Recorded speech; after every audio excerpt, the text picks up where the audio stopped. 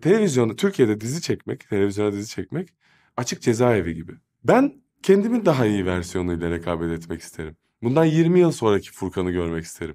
Ya da nasıl olacağını hayal etmek isterim. Ya da onun için çalışmak isterim. Ona bir meslek gözüyle bakamadığı haliyle. Onu suçlamıyorum. O onun gerçekliği. Ama bunun için savaşması gereken biri varsa o da benim.